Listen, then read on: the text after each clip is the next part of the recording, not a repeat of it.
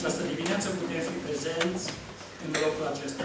Vă salutăm pe voi, toți cei care sunteți aici și în mod special vă salutăm pe voi, cum să fie în casa Domnului.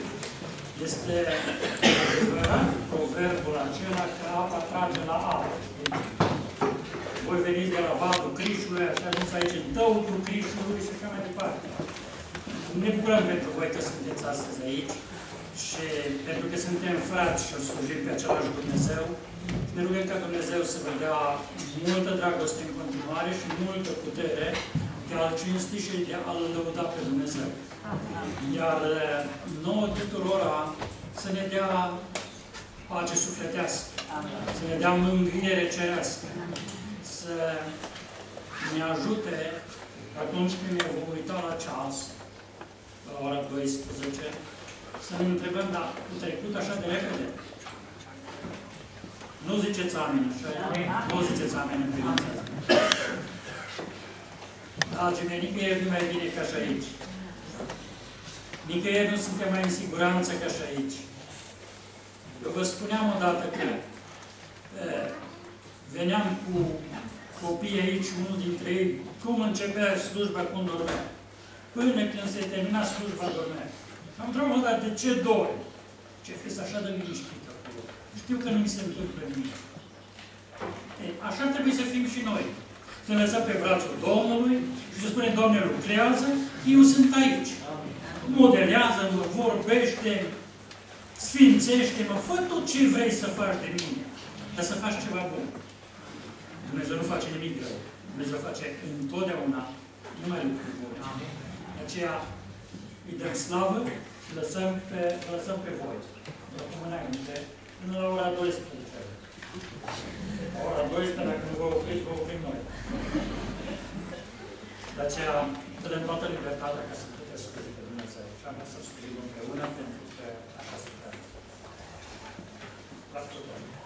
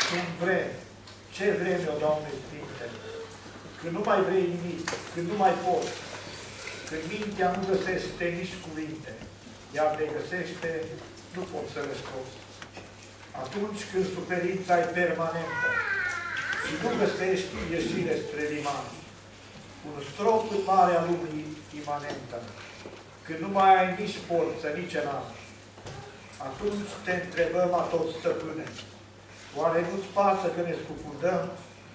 Să te întrebăm, atât ne mai rămâne și al tău cuvânt umil îl așteptăm. Tu ne răspunzi atunci cu duioșie. Copiii mei, eu încă sunt pe tron. Nu tremurați în vremuri de urgie și nu vă înspăiminte niciun zvon. Și chiar de s-ar mișca în măr pământul. A lumii stârp, tot eu îi întăresc. Așa mi-am dat din veșnicii cuvântul și acum eu pentru voi îl împlinesc. Eu mustru mare, vântul și talatul, și toate se supun și se opresc. În aspre încercări și necazuri, eu sunt cu voi, eu nu vă părăsesc. Eu dau restriștea, eu dau propășirea. Pe regi eu îi ridic și îi gobor. Dar eu sacrilegiu necinstirea. O spun aceasta vouă tuturor. Amin.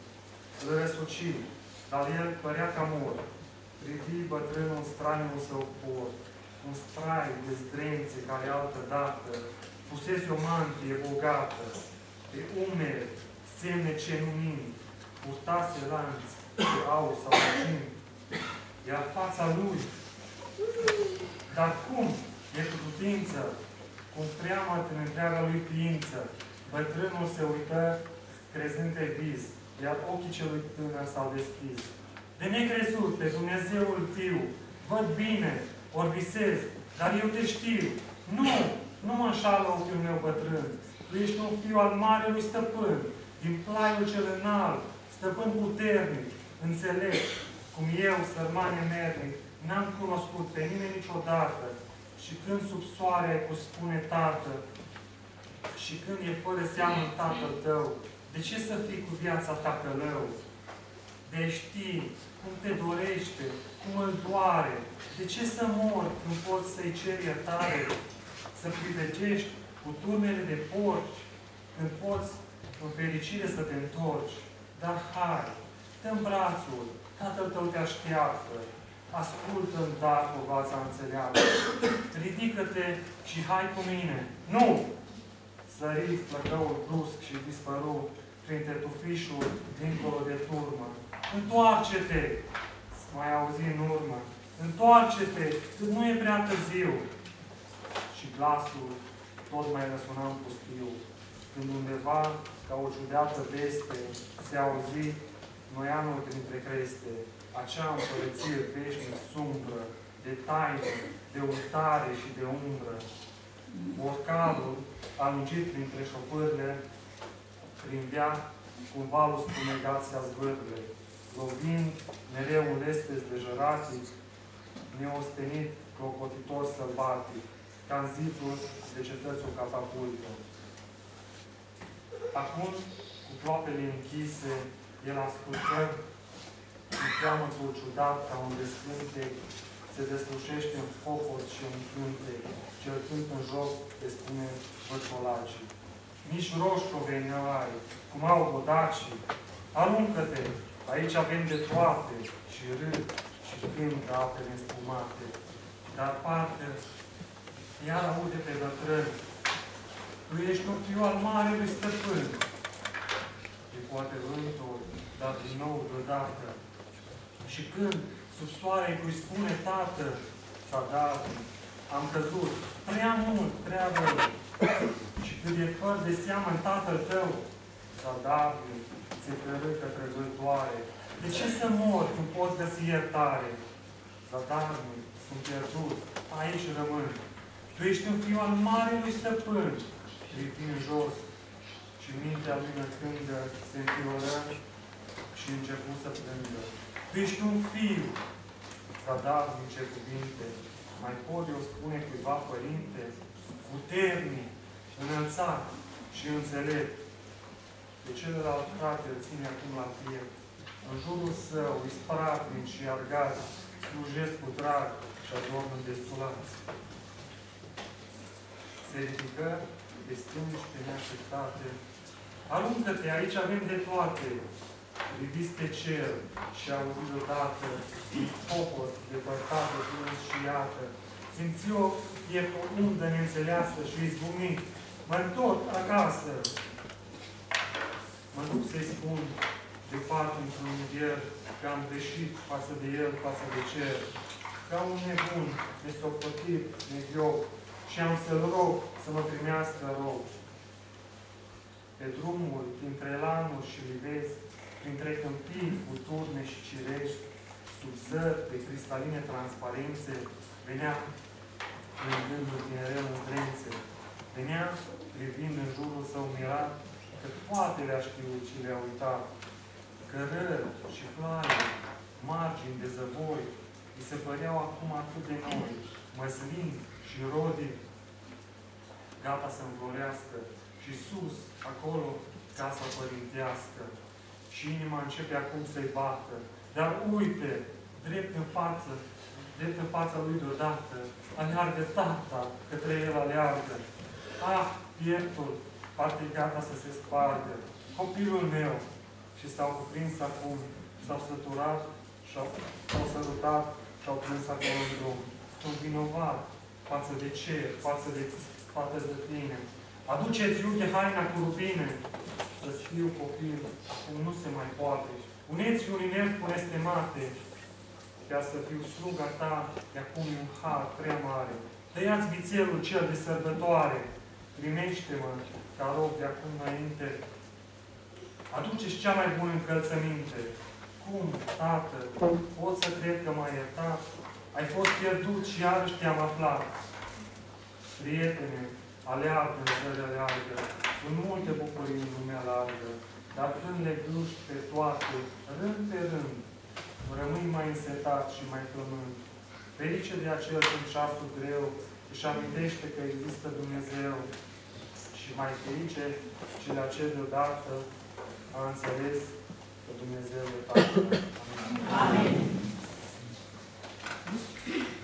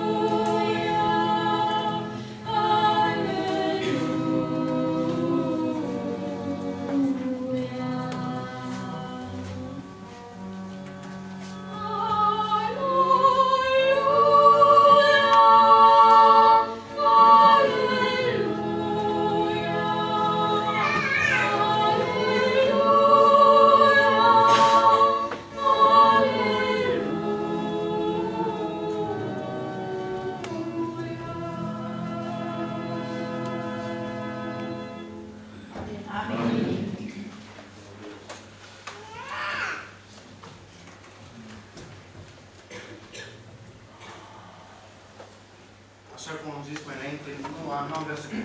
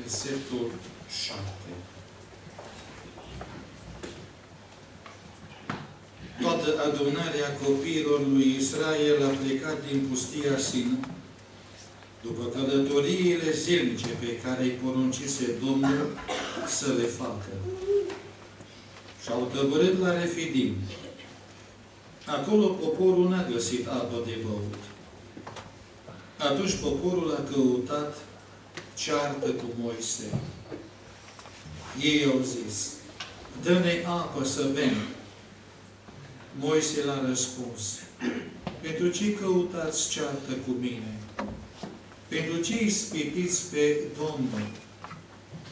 Poporul stătea acolo chinuit de sete și cătea împotriva lui Moise. El zicea, pentru ce n-ai scos din Egipt ca să ne faci să murim de sete aici cu copiii și turbele noastre? Moise a strigat către Domnul și a zis, ce să fac cu poporul acesta? Încă puțin și au să mă ucidă cu pietre. Domnul a zis lui Moise, trece înaintea poporului și ia cu tine vreo câțiva din bătrânii lui Israel, ia-ți în mână și toiagul cu care ai lovit râul și pornește. Iată, eu voi sta înaintea ta, pe stânca Horebului. Vei lovi stânca și va țășni apă din ea. Și poporul va bea.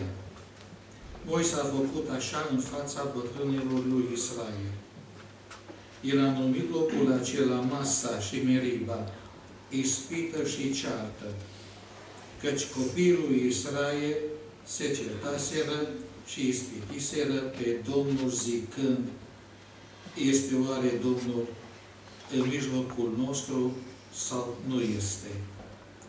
Până aici cuvântul lui Dumnezeu, vă rog să ocupați locurile.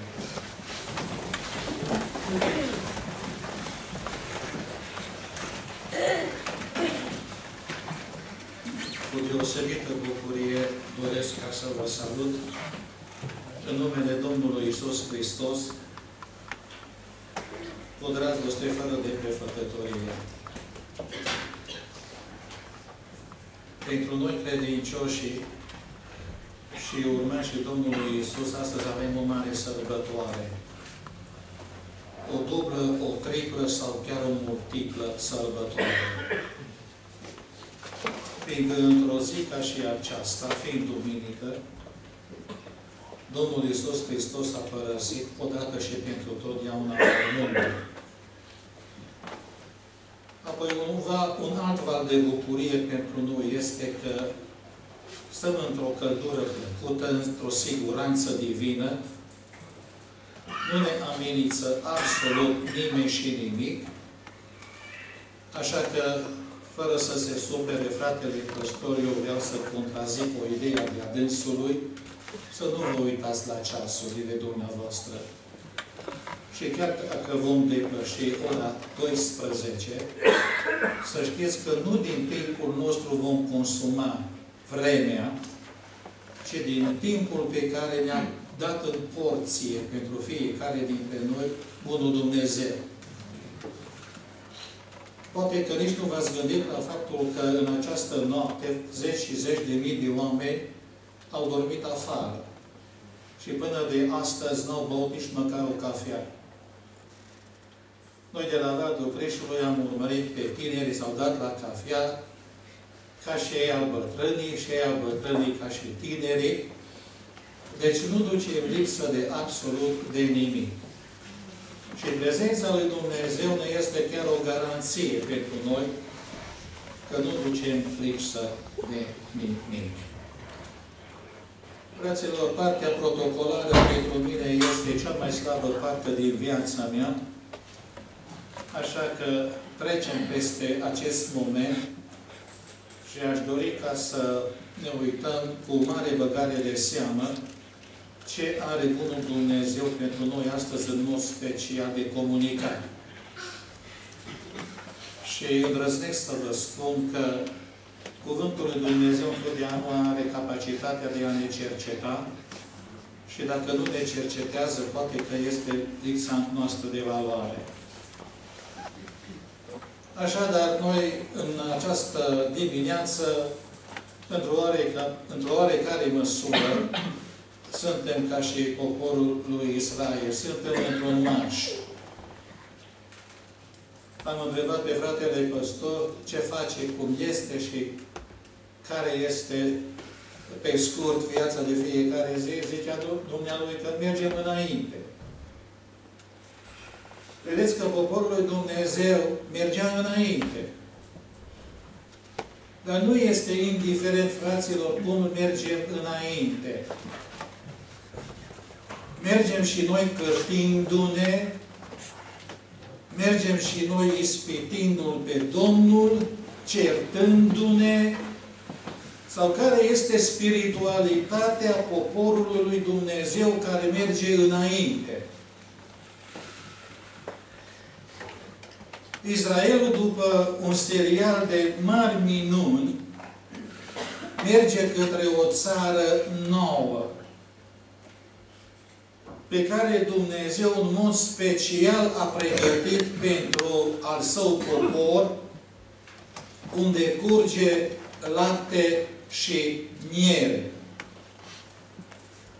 Eu cred că zona dumneavoastră curge miere și lapte. Atât ai diferența între Israel și localitatea dumneavoastră. Și la un moment dat, poporul lui Dumnezeu, ca de obicei, și trebuie să ne pregătim pentru așa ceva, s-a izbit de o problemă mare, de o criză mare. Îmi place chiar versetul 1 unde Dumnezeu poruncește poporului o înaintare. Pentru fiecare zi, ei au avut un program de a merge înainte. Nici nu vreau să știu că biserica dumneavoastră și toate bisericile pentru care Domnul Iisus Hristos și-a dat viața, nu are în fiecare zi un program de progres. Un program de a merge înainte, spre o țintă. În fiecare zi trebuie să avem un program pentru creștere creștere în cunoștință, în umilință, în dragoste și așa mai departe, fiindcă dacă ne oprim, facem o mare bucurie diavolului. Nu vreau acum să dau exemple de oprire. Dar trebuie să mergem înainte, fiindcă acolo cineva sus care ne iubește, ne și așteaptă. Au pornit ei de undeva din robie, din Egipt. Și primul popas au făcut la Elei. după aceea au ajuns la Mara, după aceea au ajuns în pustia Sin și acum au ajuns într-un loc Refidim.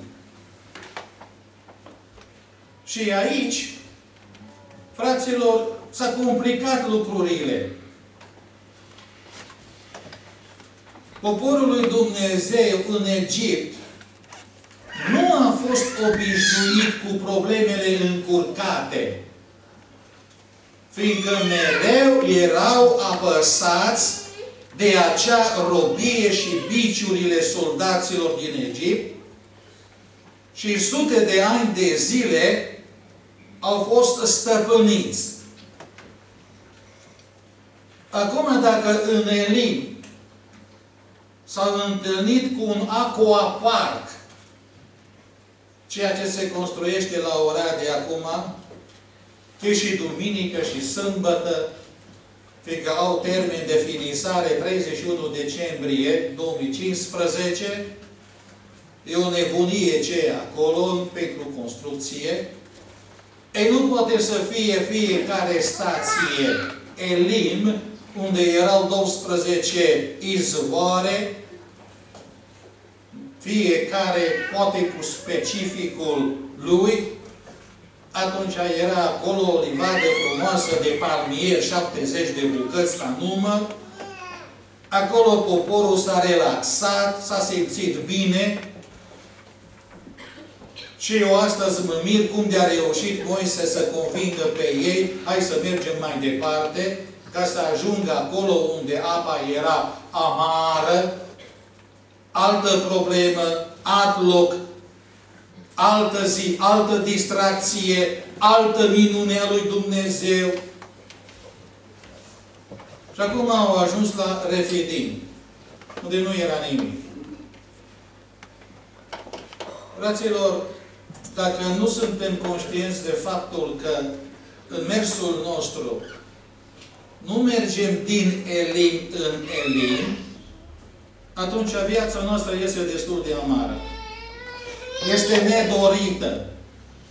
Este nedorită. Fiindcă sunt și eu de prima dată împreună cu tineri și cu frații mei din Vadul Crișului, nu cunosc zona aceasta. Și nu știu dacă și dumneavoastră aveți zile și zile. Zile cu soare sau zile cu nori, sărbători sau zile fără de sărbători. Poate că mai este nevoie și de umilință, este nevoie poate și de lacrimi, doliu și alte și alte lucruri. Nu mergem din Elim în Elim. Dacă mă uit bine în calendar, atunci mâine nu e duminică. Și dacă studiem cu atenție calendarul, nici poi mâine nu va fi duminică. Adică, adică nu în fiecare zi avem această minunată sărbătoare. Hai să zicem la ceea ce ne gândim spre norocul nostru. Nu știu ce ar face creștinii dacă în fiecare zi ar trebui să ne adunăm aici. În fiecare zi să ascultăm fanfara, în fiecare zi să ascultăm poezie, în fiecare zi să ascultăm pe Filip cum cântă, în fiecare zi să ne îmbrăcăm frumos, în fiecare zi să mirosim frumos de parfum. Nu știu ce am face. Că trebuie să vă spun că prima Biserică lui Hristos exact lucrul acesta a făcut. În fiecare zi. Fără excepție. N-ai mai știut că când e joi, când e sâmbătă, când e duminică, fiindcă toate ziua a fost duminică pentru primii creștini. Studiu biblic, rugăciune, frângerea pâine, cântări, închinare, cântări și iarăși fanfara și iarăși închinare, non-stop. Ei, poporul lui Dumnezeu ajunge, ajunge într-o situație la care nu s-a așteptat. Mâine o să avem o zi, frații mei, la care noi nu, noi nu ne așteptăm. Sunteți pregătiți? Mental, spiritual, fizic.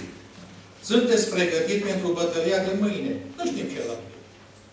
Dar orice, orice va fi, eu vă spun deja dinainte, va fi o surpriză ziua de mâine pentru toată lumea.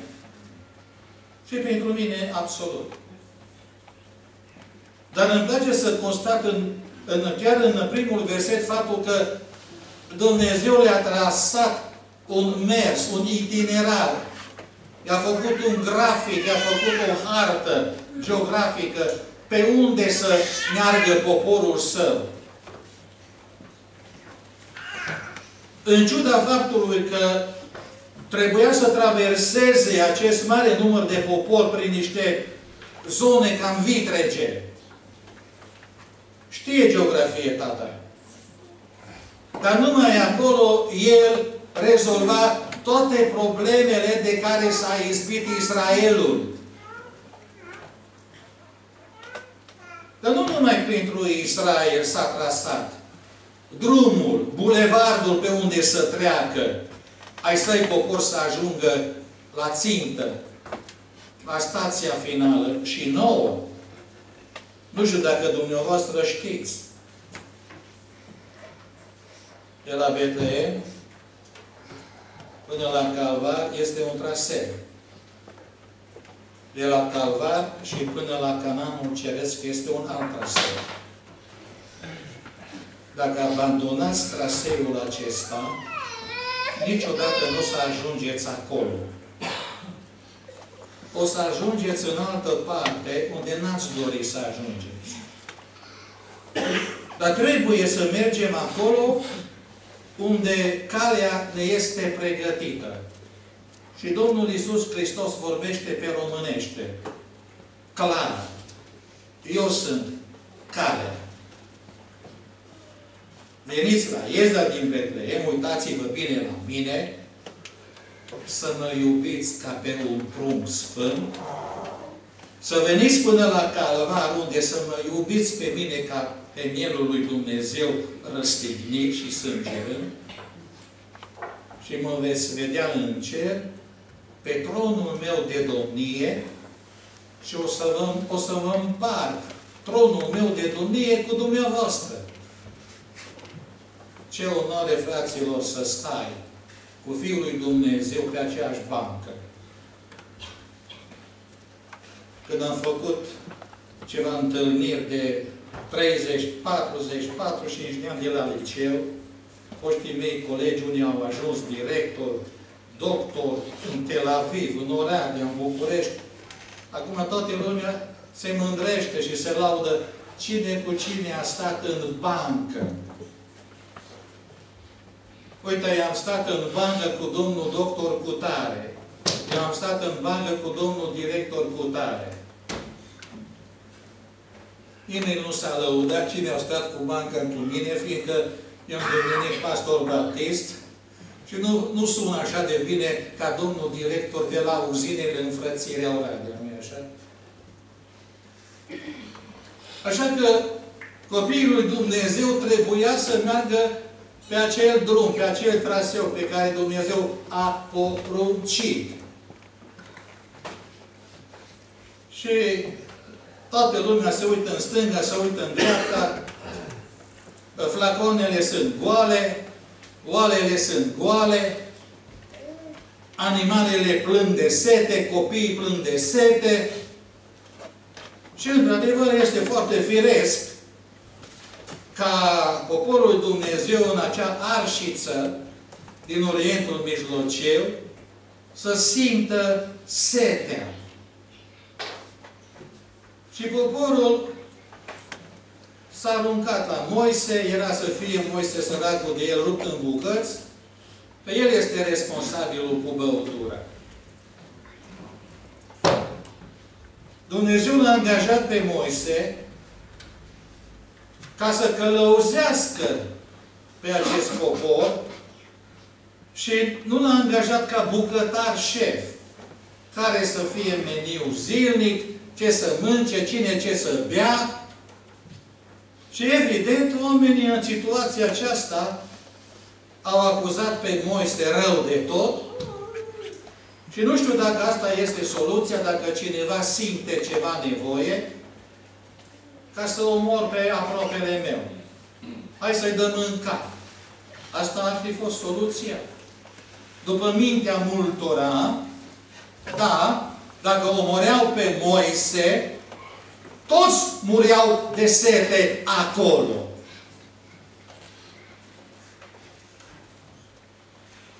Fraților, fiți foarte liniștiți și să aveți încredere totală în Dumnezeu că El știa precis că în Refidim va fi acolo o situație ieșit din comun. Dar eu vă zic, haideți să lăsăm pe Dumnezeu să facă cel puțin două lucruri. Cel puțin două lucruri. Și Dumnezeu vrea să știe ce face Domnul Israel într-o criză oarecare. Dumnezeu de multe ori, fraților, pentru biserica dumneavoastră, pentru fiecare personal, permite Dumnezeu niște situații strigător la cer. Fiindcă vrea să vă verifice. Soră dragă, ce ai făcut tu 40 de ani de zi în această biserică? Frate drag, ești conducător de nu știu ce. Ce ai rezolvat în timpul anii tăi? Sunt bateriile tale încărcate sau descărcate în domeniul credinței. Neapărat. Și are dreptul să facă lucrul acesta Dumnezeu. Venim o duminică, venim o lună, venim un an, venim zece ani. Dar odată și odată, dragii mei, trebuie să iasă în relief ce am căutat aici atâta vreme. Am consumat aerul degeaba, am dat leuțul nostru acolo la per și am zis că gata, am făcut și o datoria mea. Unde se va deosebi oamenii al lui Dumnezeu și oamenii care sunt certați cu Dumnezeu? Unde va ieși? De unde va ieși lumina? Al doilea rând, ceea ce Dumnezeu vrea să facă, și în această situație, hai să spunem, imposibilă, va ieși din nou la rampă, pe rampă, puterea lui Dumnezeu. Îmi place enorm de mult această imagine și dacă aș fi desenator, repede aș face acolo o caricatură să vedeți în realitate ce se întâmplă. Omule, tu ești de acord cu situația ta? Ă, te răspuni împotriva mea? O dai capul în jos? Să bei din izvorul umilinței? Sau abia aștept să vezi ce face Dumnezeu în această situație? E o imagine formidabilă, frații mei. Și noi trebuie în fiecare zi să avem această confruntare. Aprobare din partea mea și realizare din partea lui Dumnezeu. Anul trecut, în martie 20, am fost operat cu o boală care nu se vindecă. Științele medicale stau în poziția de drept, cu capul plecat în jos. N-ai ce face. Nu este tabletă, nu este nimic. Și după patru ore și jumătate, când am trezit la realitate din nou, dintr-un somn forțat, am văzut ochii medicului meu, care m-a operat, și atât mi-a zis, Domnul Părinte, am reușit. Bun, a fost ăsta un, un elim pentru mine. Am reușit. Fiindcă înainte de operație, șapte medici au zis că nu am nicio șansă.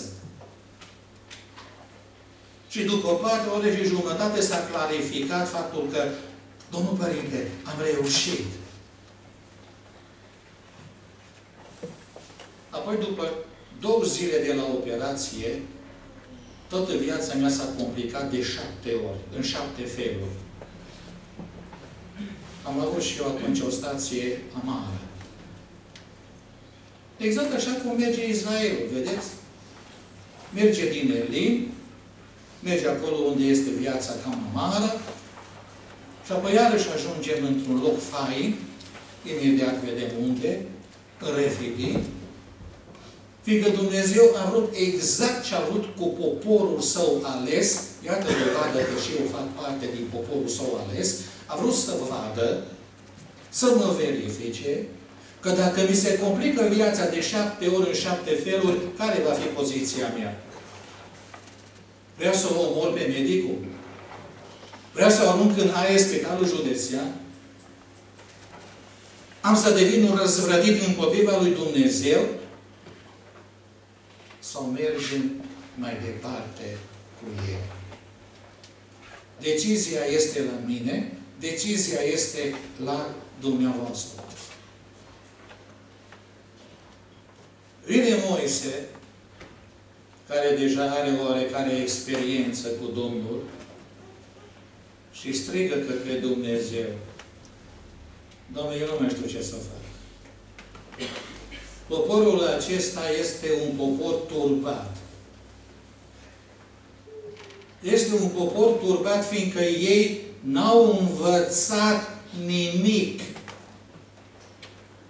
din tot ce au văzut ei, începând din Egipt și până în Refidim.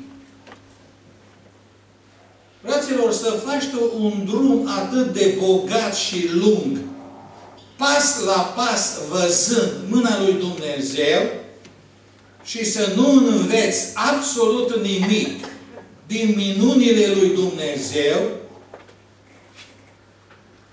este un act foarte, foarte grav pentru care suferă un creator. Gândiți-vă dumneavoastră care deja aveți copii. Mă gândesc acum la părinți și la bunici. Ați investit câte ceva în copiii dumneavoastră, i-ați dat bani să facă școală de muzică, poate și facultate, i-ați dat bani de autobuz și de o înghețată, cu speranța că va fi din fiul meu cineva și din fiul meu n-a ieșit nimic. Fiindcă nu s-a lipit de el nimic. Nici la școală, nici la biserică, nici din familie. Ce mare fericire, nu? Pentru un părinte.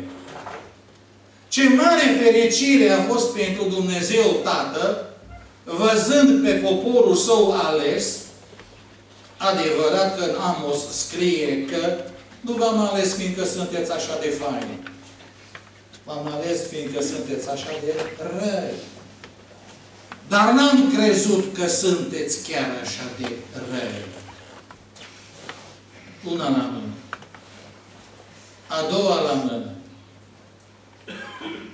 Poporul lui Dumnezeu este independent și liber. Frații mei, pentru această libertate și pentru această independență, poporul lui Dumnezeu n-a făcut nimic. A fost purtat ca un prunculeț pe brațe. Le-a scos Dumnezeu din o tragedie și l-a mutat afară. Într-o garanție divină. Ei, pentru libertatea lor și pentru independența lor, nu numai că n-au făcut nimic, dar nici n-au vrut să facă nimic. Adică, să mă înțelegeți mai bine, ei au așteptat să vină puiul grill, zburând în gură la ei, așa la pocnitură, să vină chelnerii și să servească cu Coca-Cola, cu Pepsi, nu știu ce, și ca și în Hawaii. Fraților, pe calea îngustă, nu știu dacă este Hawaii. Și acolo este luptă. Și dacă cineva renunță la această luptă bună a credinței, va pierde. Va pierde bătălia. Și sfârșitul va fi foarte, foarte amar. Poporul lui Dumnezeu nu a realizat ce a făcut Bunul Dumnezeu pentru ei și nu a realizat viitorul ce stă înaintea lor. Ei au trăit, fraților, pentru astăzi. Pentru moment. Dar aici nu trebuie, frate, nici minte, nici școală, nici credință, absolut nimic. Asta să mâncăm, să bem, să facem nu știu ce și mâine poate murim. Gândul acesta este de la, de la diavol, nu este de la Dumnezeu. Și Moise, care, așa cum am spus, are niște experiențe personale pentru care eu îl invidiez enorm de mult pe Moise. Un copil al lui Dumnezeu, fraților, trebuie să aibă experiențe personale. Nu din ziua să citești despre Domnul Isus. Să vorbești despre Domnul Isus Hristos, cum ai pățit tu cu El. Nu din zvonuri. Sau cine știe prin ce intermediu. Experiență personală. Tu și El, El și tu tine. Are un refugiu sigur. Se duce lui Dumnezeu și spune situația la concret. La concret. Nu știu dacă acum am luat de la început, fraților, ora noastră de rugăciune, la, la ce ne-am rugat la concret? Care este prima urgență a Bisericii dumneavoastră sau întregii Românii la ora actuală? Dar să pomenim de la Tanda la Manda pe toată lumea, nu este la concret. Moise putea să spună, Domne, uite că oamenii aceștia uh, au o turmă de cămilă, au o turmă de oaie, și de când am părăsit Egiptul, nu s-a sporit turma. E o turmă stearpă. Sau este un copilaj la care cresc dinții și tot timpul plânge. Trebuie și pentru asta să ne rugăm. Dar era o situație urgentă, actuală, actuală. Când sunt acasă la biserică unde sunt păstor de mai multă vreme, abia reușesc să redresez frații cum să, să vă rugați. Că dacă am zis concret, pe baza 1 Timotei, capitolul 2, să ne rugăm pentru șef, fraților, lăsăm pe orfani, pe văduve, pe săraci, agricultura și nu știu ce anume și ne rugăm acum pentru domnul președinte Iohannis. E singurul președinte al României, vârf la țară, care este protestant. Care încă nu a fost îndobitocit de icoane și de învățături false merită să aveți și dumneavoastră pe lista dumneavoastră de rugăciune pe acest președinte, ca să fie, să fie călăuzit de Biblie, despre care a zis că este cea mai formidabilă carte pe care a citit-o vreodată. Ei, Moise merge înainte lui Dumnezeu și spune, Doamne, e o problemă pentru care, uite, oamenii ăștia sunt gata să mă omoare. Și Moise este sigur că Dumnezeu mai are o soluție pentru popor. Doamne, dacă vrei și dacă ai putea și dacă nu știu cum și dacă binevoiești, mă închin, nu plângăreți, frate! Mergi acolo ca un copil de Dumnezeu și te rogi ca de un tată. Domne, asta e problema mea, te rog, rezolvă. Punct! Atâta ne scărpenăm de multe ori când ne rugăm fraților, că până la urmă Dumnezeu știți ce ne spune? Apoi, iertați-mă, eu nu știu ce vreți. Eu nu știu ce doriți. Dumnezeu spune, Moise, ai tu un toiag. Cunoști deja toiagul acesta. Ai mai folosit toiagul acesta. Ai mai folosit procedura aceasta. Mai fă o repetiție, măi, măi Moise. Când ai fost în Egipt, toiagul acestea a făcut o mare minune. Tot Nilul a fost transformat în sânge. Tot cu toiagul acesta. Nu trebuie schimbată metoda. Astăzi, bisericile parcă sunt într-o concurență. Cum să schimbăm noi programul, compoziția, numai să fie a la secolul 21, să nu se plictisească lumea și mai știu eu ce. Uh,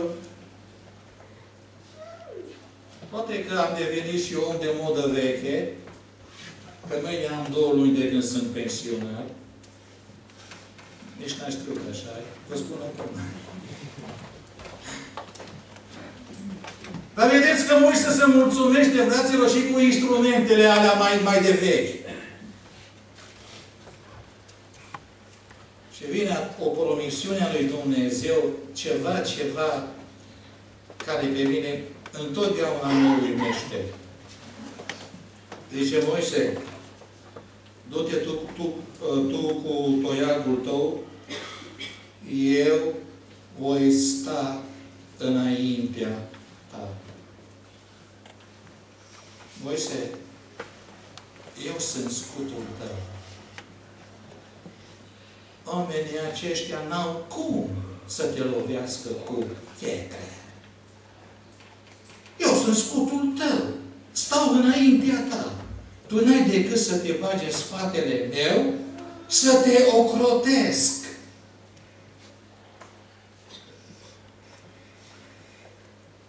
Nu zice Domnul, du-te tu, Moise, înainte și voi, voi veni și eu imediat.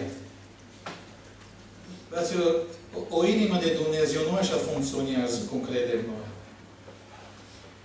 Eu stau înaintea ta.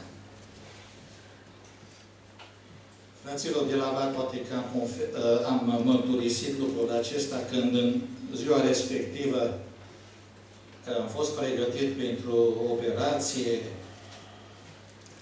am avut o pace inexplicabilă în camera de avancameră, unde era salonul de operație. Trebuia făcut niște manevre pregătitoare pentru operație. După ce a venit, nu știu cine, să mă călăuzească până la patul de operație, să mă culc. Fraților, Domnul Iisus Hristos nu m-a lăsat acolo cu ochii în soare. Nu numai în avancameră a fost cu mine, a fost acolo lângă mine și în timpul operației. Să experimentezi lucrul acesta, frate, merită să, să te naști și merită pentru cauza lui Hristos să te consumi. Experiența personală. Lui Moise spune Domnul Dumnezeu exact acest lucru. Eu voi sta înaintea ta. Frate de păstor v-a citit un pasaj minunat din Ioan 10. Acolo păstorul tot timpul este înainte. Ca un scut pentru turmă. Ciobanii noștri fac invers. Turma merge înainte și ciobanul, măgarul și câinele în spate. Pur și simplu, turma este pusă în pericol. Aproape de, de gura lupului, a leului sau a ursului cu care s-a luptat David. Nu, Domnul Iisus Hristos merge înainte. Și apoi vine turmă. turmă. Eu voi sta acolo înaintea ta. Și cu acest toiac să lovești stânca. Și poporul însetat, va avea de băut. Din copilărie, întotdeauna am fost destul de bogat în fantezie. Și mi-am imaginat poporul acesta când a țășnit apa din stâncă. Ce a fost acolo? Mai ceva ca la stadion de fotbal care se intră primul, muzeală, ghiontăială, sau la Meca, unde au murit o mie și ceva de oameni că s-au călcat în picioare ca să atingă de piatra aia neagră a lui Mahomet. Ce îmbulzeală ce era acolo, fantastic. Dar m-am gândit și la Amos, capitolul 8 cu versetul 11. Fără să parafrazez, vreau să vă citesc, că este mult mai corect.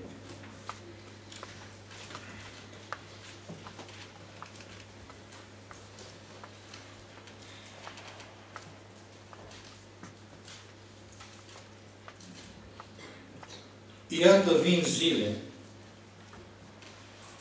zice Domnul Dumnezeu, când voi trimite foamete în țară, nu foamete de pâine, nici sete de apă, ci foame și sete după auzirea cuvântului Domnului.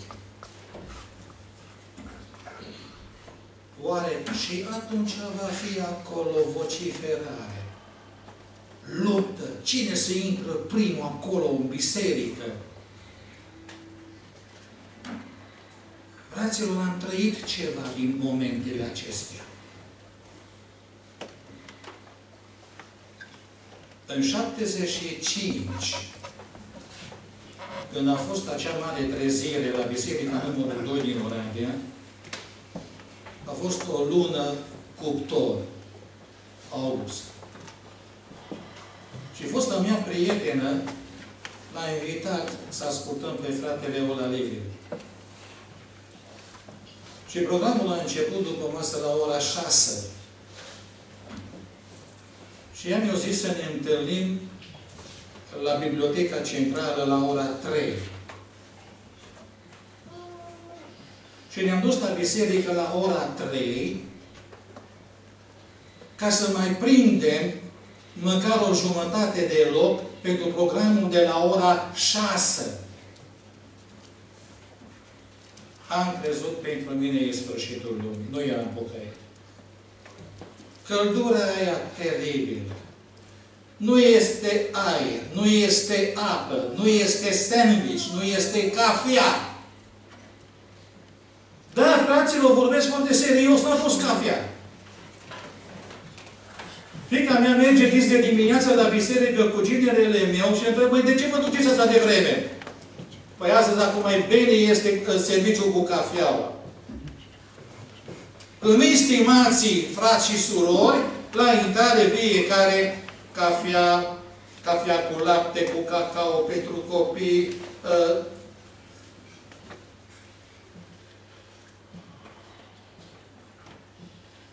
da, fraților, Trei ore am stat acolo, m-am paralizat total, n-am mai vrut să aud nimic, dar am iubit-o pe prietena mea. Astăzi e nevasta mea. Și fraților, când iubești, reziști și fără apă. Eu nu știu unde a învățat poporul Dumnezeu, fraților, să facă acea mare scandal. Nu știu unde am învățat. Că dacă făcea scandalul acesta în Egipt, apoi puteți să vă închipuiți consecințele. Ce de piciuri trăgeau peste ei? Acum, când avem pe Moise, care este cel mai blând om din lume, putem să facem scandal. Nu l-au cunoscut fraților pe Dumnezeul lui Avram, așa cum este Dumnezeul lui Avram. Nu l-au cunoscut așa personal.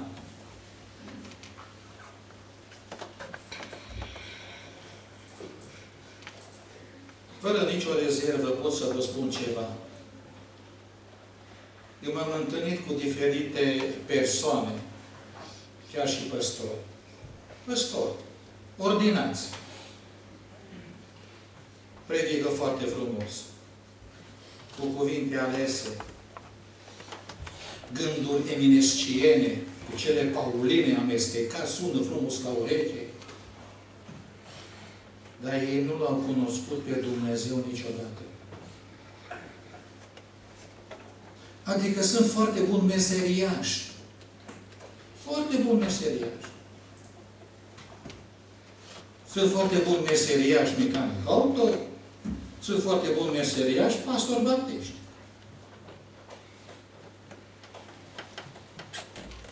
Nu l-au cunoscut puterea lui Dumnezeu.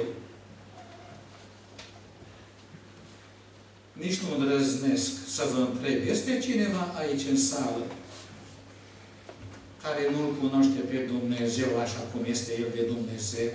Cel care a creat cerurile și pământul și pe noi oamenii după tipul și asemănarea Lui.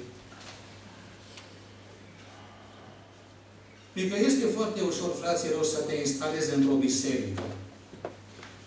Foarte ușor.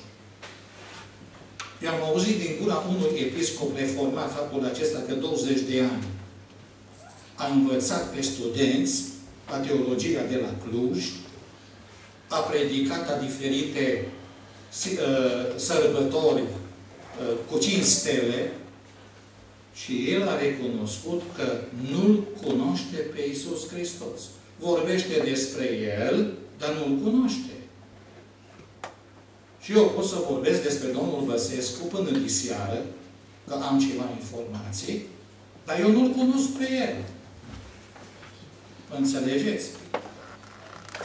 Uite că poporul Dumnezeu a îndrăznit să facă scandalul.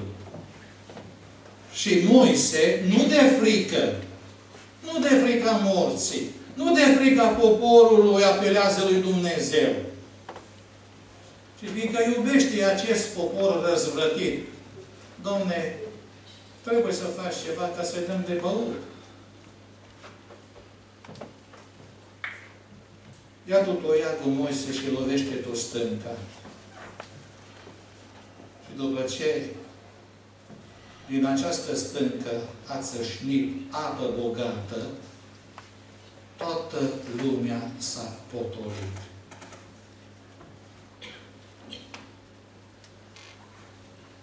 Uitați ce s-a întâmplat, fraților.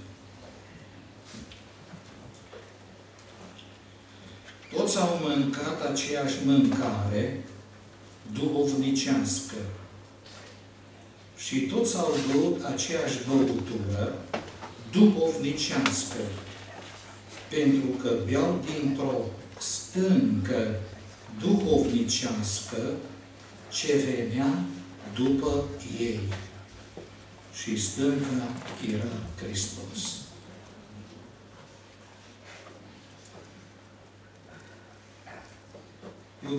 Iubită Biserică Creștină Baptistă din Tăut, vă dați seama ce s-a întâmplat acolo la Refidim. Dumnezeu a zis lui Moise, Moise, lovește cum? Lovește-mă pe mine. Ca poporul acesta să trăiască poporul acesta să aibă de băut, o băutură duhovnicească. Lovește-mă pe mine. Bate-mă pe mine.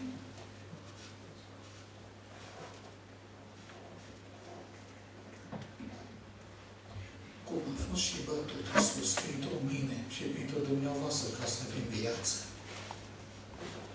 Nu a fost mângâiat pe spate. Ci cu cruzime, bestial. Fiul lui Dumnezeu a fost bătut. Ca cel ce va bea din, aceast, din acest izvor ape vie să aibă viață veșnică. Unde s-a întâmplat lucrul acesta? La Refidim. Știți ce înseamnă refidim? În limba ebraică refidim înseamnă loc de odihnă. Popas pentru relaxare. Să vă reprospătați. Și locul acesta frumos pentru relaxare, poporul a transformat în locul ispitei și a scandalului. Aici suntem de nota 10. Dumnezeu a pregătit o grădină ca și în poveste, ca în basme, pe care omul a transformat într-un randevu cu diavolul.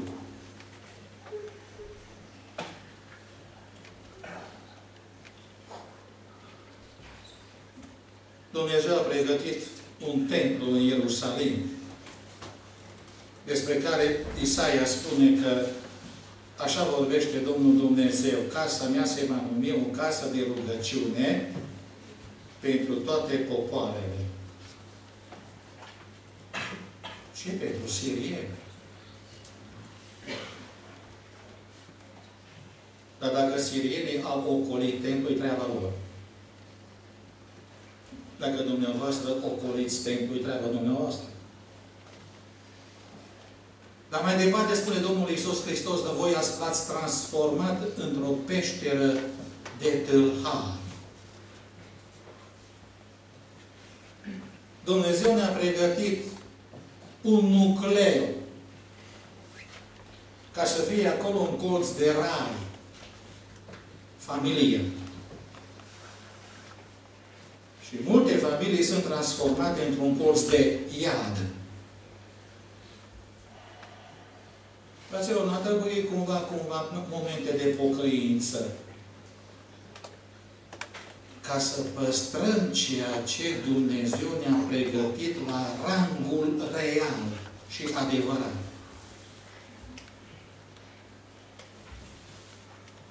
Fiindcă Dumnezeu are un plan formidabil cu fiecare dintre noi.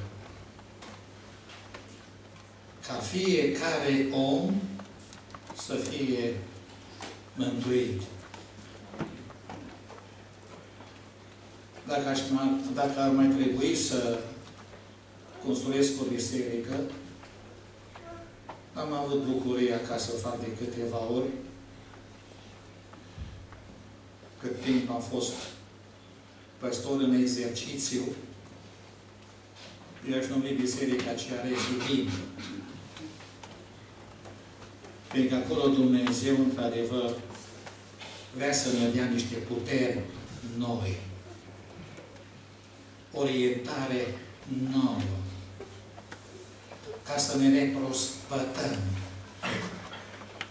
Și ca și astăzi, fraților, România nu are nevoie de o economie strălucitoare, nu are nevoie de nu știu ce transformări politice, dar de o trezire spirituală, da. Și acest lucru, fraților, nu este concepția mea. Este voia lui Dumnezeu.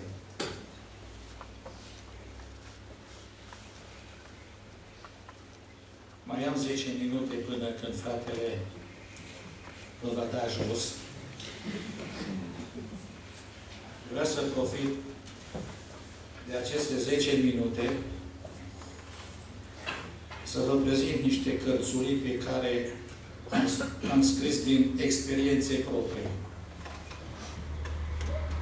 Deci cărțile acestea nu numai prin mintea mea au trecut, au trecut și prin inima mea și prin sângele meu și prin tot sistemul nervos și tot ce este ființa mea. Sunt foarte mulți bolnavi, fraților, astăzi. Foarte mulți bolnavi. Și medicul nostru, drag Mateiaș, care este medic de la comunitatea Oradea, are cancer. Boală grea. Sora dânsului, idem. La un coleg de-al nostru din uh, zona Marghitei, a avut o fată de 17 ani și fără nicio introducere a căzut grămadă și a murit. Sunt foarte mulți oameni bolnavi. Și toată lumea vrea să se facă bine. Firesc, normal. Numai că la niște cazuri extreme vin niște învățători și niște vindecători falși. Și vor să facă o senzație nemaipomenită. Și când au venit și la mine niște, nu știu cum să spun, oameni care vor, au dorit ca să mă vindece, m-am înfuriat și am zis fraților, haideți să vorbim despre FC Barcelona, fiindcă este mai ușor și pentru voi și pentru noi. Despre fotbal, adică. Ce vindecăm noi? Dacă Domnul Iisus Hristos nu-ți pune amprenta pe viața ta, n-ai nicio șansă de vindecare. Eu pot să spun, fraților, cu inima deschisă, fiindcă am trecut prin ulița aceasta. Și când au venit profeții și vindecători mincinoși, am scris-o această carte. Puterea de vindecare a lui Isus Hristos. Am vrut să lămuresc odată pentru totdeauna derapajele care se nasc în urma acestor lucruri. Să nu fiți nici dumneavoastră niște victime, victime a poveștilor mincinoase a oamenilor. În urmă cu câțiva ani, un copilaș s-a aruncat în fața trenului la Alești. S-a uitat bine cât vine Intercity Oradea Cluj și a cronometrat bine ceasul și a reglat bine ceasul și s-a aruncat în fața trenului și a murit. Și atunci iarăși m-am înfuriat și am scris-o această carte. Copiii victimele părinților. Fiindcă de multe ori nu știm, nu ne pricepem să, să educăm pe copiii noștri ca să fie niște stâlpuri în Împărăția Lui Dumnezeu. A fost odată un concurs la TVR1, cine să fie cel mai mare român din România, de-a lungul istoriei. Și a ieșit pe locul numărul 1, poate cel mai imoral român. Și atunci iar m-am înfuriat și am zis, noi, acum cine decide aici, cine este cel mai mare? Poporul, prin uh, voturi secrete, prin internet, prin online, nu știu ce, ori lăsăm pe Domnul Isus Hristos ca să ne catalogizeze, așa cum a și făcut în cazul lui Ioan Botezătorul, fiindcă lui i-a zis cel mai mare om născut din femeie. Și dacă vreți dumneavoastră să vedeți uh, cum se poate ajunge cel mai mare om născut din femeie, se poate citi și această carte. Nu sunt agricultor, dar bănuiesc că lucrurile agricole deja se, se termină. Vine o perioadă când putem să ne retragem și noi în o sobă caldă și să citim aceste cărți. Dacă în Noul Testament îl avem pe Ioan Botezătorul ca cel mai mare om născut din femeie, să știți că are un omolog și în Vechiul Testament. Și acest omolog este un împărat, nu un boschetar ca el. Cel mai popular împărat al lui Israel a fost David. În urmă cu 5 ani, când am fost în Israel și uh, am discutat așa cu voce tare, cum fac baptiștii români, te audă și peste șapte străzi, și am, am vorbit de tare, dar eu toată lumea era cu capul în sus. Când am vorbit de Domnul Isus, toată lumea era cu capul în jos. Iisus n-a avut succes în Israel acasă la el, fiindcă uh, uh, prorocul nu este prețuit în țara lui. David, da. Și am scris o această carte, Om după inima lui Dumnezeu. Cele mai frumoase momente din viața împăratului, care pur și simplu pe mine m-a lăsat de câteva gura căscată. Ei, dacă pe David aici l-am menționat uh, și l-am ridicat așa cât se poate de sus, în această carte l-am criticat. L-am criticat fiindcă este vorba despre dute și să nu mai păcătuiești. spunea Domnul Iisus Hristos la o prostituată. Apoi David a fost un prostituat. A avut și el un moment de mare cădere, când și-a pus ochii pe frumoasa Batșeba și a făcut ce a făcut. Și trebuie să discutăm și problema aceasta, fraților, fiindcă diavolul se ceră bogat pe terenul acesta. Vedeți că am acolo doi porumbei, așa -i? Se vede bine surorile din spate, da? Doi porumbei. Ce fac porumbei? Pupăcioși. Așa, așa, așa se începe viața totdeauna. Ne îmbrățișăm, ne pupăm, ne sărutăm, ne iubim. Până când? Aici este întrebare. Fiindcă de multe ori cuibul rămâne gol. Și în prisma Scripturii trebuie abordată și această problemă ca să nu rămână cuibul gol.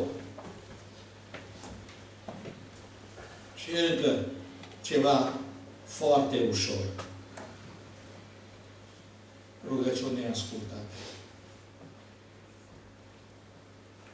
Eu cred că măcar o rugăciune fiecare dintre noi aveți, pe care Dumnezeu încă nu a ascultat. Și vă mai ruga și vă mai ruga și faceți bine, dar uitați că este o, este o secvență din acest domeniu, rugăciuni neascultate. Dar nu vreau să vă sper. În cartea aceasta este descrisă frumusețea, frumusețea, repet, a rugăciunilor neascultate. În ciuda faptului că eu am scris o carte aceasta, eu am scris o carte aceasta pentru mine. Fiindcă am și eu o grămadă de rugăciuni neascultate. Dar nu vreau să fiu egoist. Vreau să vă dau și dumneavoastră din această carte. Și la sfârșit mă găsiți aici undeva într-un colț în spate, dacă doriți să le aveți, pe un preț foarte promoțional, le puteți avea. Și totuși, vreau să mă contrazic. Dumnezeu să vă ascultă rugăciunile. Amin. Amin.